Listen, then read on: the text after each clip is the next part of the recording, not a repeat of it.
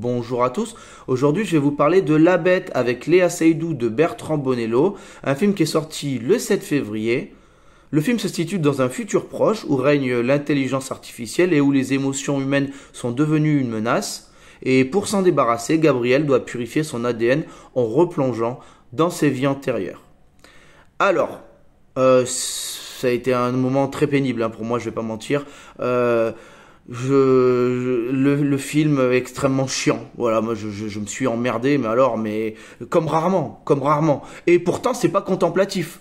C'est juste euh, que déjà on comprend rien parce que euh, euh, le, le, montage est complètement déstructuré, la narration est, est complètement déstructurée, tout est à l'envers, donc euh, à la fin, effectivement, on arrive à peu près à replacer les, les, les événements dans, dans l'ordre et encore, mais du coup, pendant tout le film, on comprend rien. Alors, c'est bien quand quand c'est comme ça, mais mais là c'est là c'est pas réussi parce que la première heure est extrêmement euh, compliqué parce que euh, on a deux personnages qui discutent pendant une heure et euh, ben, c'est un déluge de banalité euh, ça va pas du tout c'est pas du tout direct. On se demande mais qu'est-ce que c'est que ce truc et franchement la première heure c'est très difficile de rester. Beaucoup de gens sont partis de la salle.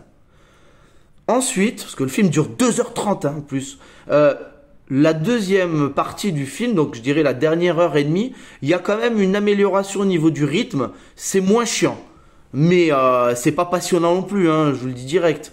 Euh, donc le montage, euh, donc le film est complètement à l'envers, mais quand même, je vous rassure, à la fin du film, on comprend plus ou moins euh, l'ambition du réalisateur, euh, le message, euh, la chute, on voilà, on comprend ce qui se passe. Donc même si le film peut nous paraître complètement incohérent et what the fuck tout le long, bon, à la fin, j'ai envie de dire, on capte quand même. Hein. Donc voilà.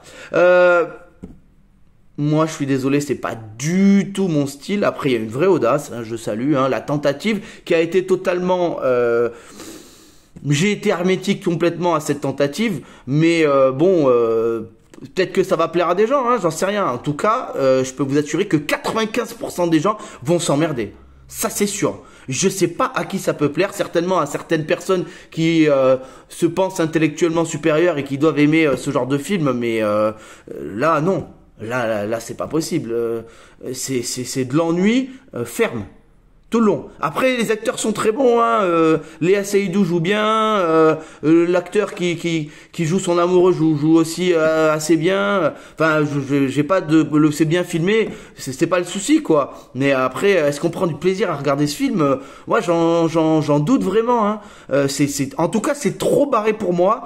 Et moi, je ne le conseille pas, hein, à moins qu'on soit vraiment cinéphile et qu'on ait déjà euh, euh, vu euh, des films comme ça où on comprend pas grand-chose et où ce sont des films expérimentaux dans le sens où il y a, y, a, y, a, quelque chose qui est tenté là, hein, faut, faut bien, faut bien, faut bien l'avouer. Mais le spectateur lambda peut pas aimer ce genre de film.